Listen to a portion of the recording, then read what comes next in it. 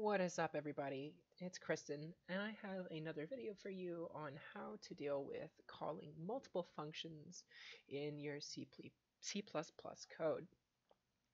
So let's go over the first thing first. Let's just go over what I've actually put together here.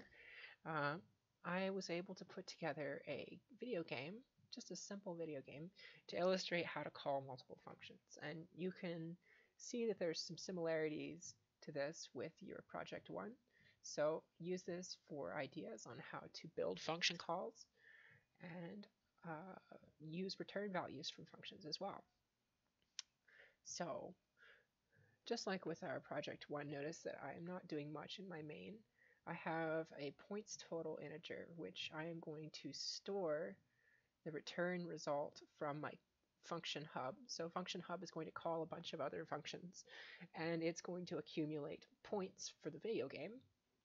And when the player reaches 100 points, they have won the game. So the idea is that whatever total comes back from our other function will get stored in points total because the fun hub function call will be the place where total will be returned to. All right, so let's go over our fun hub function. So notice that I've got a couple of different integers and strings and boolean values here to make this function work. I've got um, a total which is going to be returned to main. I have a menu choice based on what someone wants to choose in the menu. I have a gambling score, which comes back from a gambling function, and a score chance, which comes from every other function. So total gets set to score chance from every different chance roll. So the first thing I wanted to point out here is this is how to set up an alternative while loop from some that you might have seen so far in class, notice that what we have here is a boolean variable called flag, which is set to false. And the flag, while false, will make the while loop continue. Now notice here that if I have the user enter Q or Q, then the flag is gets set to true, which then breaks the boolean conditions of our while loop parameters and I will return the total so far. So I have a another function call here. This is the first function call that's done inside of a function. So inside of this function fun hub, I'm going to call a menu function with this line here on line 92. Notice that it is the name of the actual function and then parentheses. Every time you call a function, uh, the way that it's recognized as a function is through the parentheses addition to the variable. And menu, if we go up here and look at menu, we'll notice that menu does not take any parameters and it's a void function. So all it's going to do is just print some stuff and then we're going to return back to main to where this menu was called on line 92.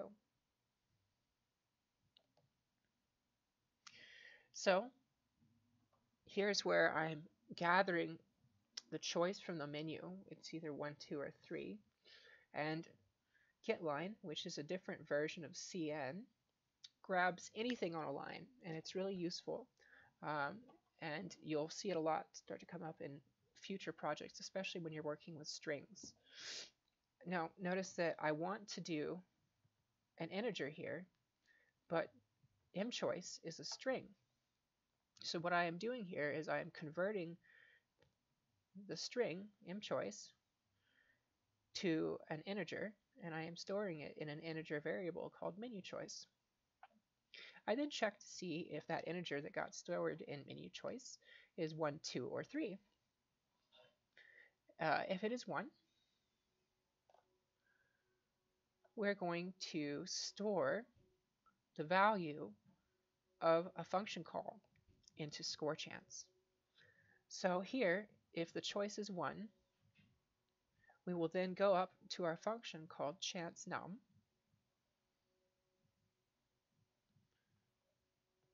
Chance num is an integer function that returns a roll, which is an integer.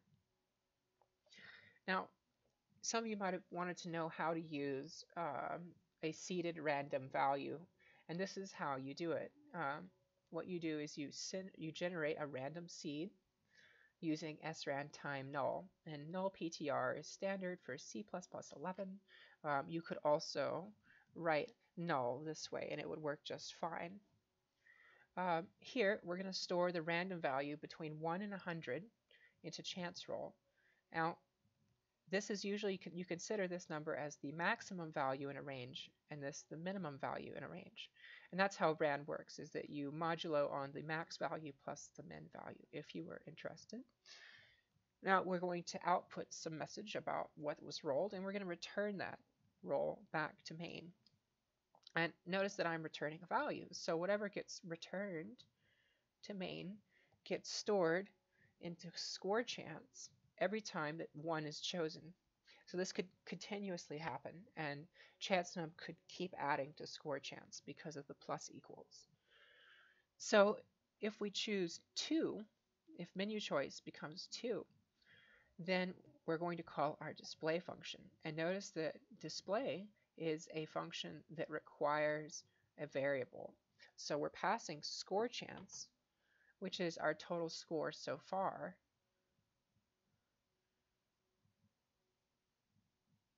Here's the display function, which takes in an integer. And you can see here that it's actually a different name than the one that was actually passed in here. Well, in C++, C++, as long as you have the same variables in your parameters, in your function calls and in your, your function prototypes, uh, your, your functions will recognize those as the same variables. They see it as a, it only needs one integer, and so whatever you declare uh, even if it's a different name, as long as it is an integer, it will assume that value to be the same and store it in there. So whatever value from score,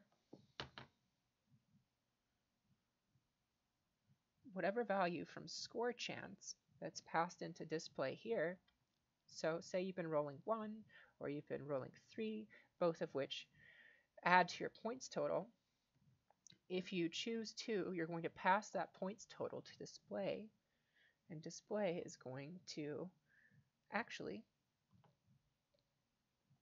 print out exactly what your current score is. And current score will be the same as score chance. Okay, our last option in our menu, if choice is 3, we're going to store the function call of the gamble function into a variable called gpoints, which is an integer. So if I go up here to gamble, this is probably the most complex function in this code. What we're going to do here is we're going to generate a random number and store it into gpoints, just like before. Now, what I've done here is I'm checking in a range for if g points is a certain value. So here I'm saying, okay, if we generate a random number between 25 and 1, if that number comes out less than or equal to 5, then we're going to modify the return points that we're going to give the player or subtract from the player's points totals. And we're going to give them some kind of a print statement. So we're updating return points in all of these different conditions based on what randomly gets generated and stored into G points.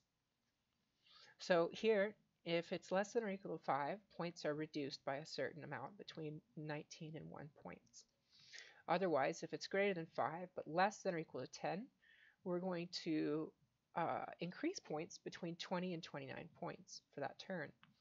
And the same here, we decrease by between 30 and 39 if the roll comes back greater than 10 or less than or equal to 20. And otherwise, if it's greater than 20, so if it's 21 to 25, which would be the hardest to actually roll out of the, everything here, we're going to give them a whopping some range between 40 and 50 points back. And remember, you have to get 100 points in order to win the game. So that's a general overview of what this game is. The last thing here is that if our total reaches 100 or exceeds it, you've won the game. So we'll set total to 100 and we'll just return that value to our main. And notice here that when we return total, we will store it in our function call funhub in points total and output it as the last thing we do before the end of our function. So I'm just going to go ahead and run this and show you what I'm talking about. Okay, so first of all, yes, let's go ahead and play. Please select one of the following menu options. Okay, let's see how many points we have. Well, we don't have any points yet. Let's see what else we can do.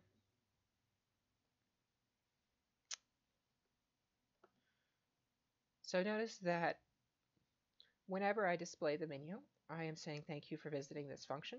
So that means that function call worked correctly. And here we scored 41 randomly from going to chance num.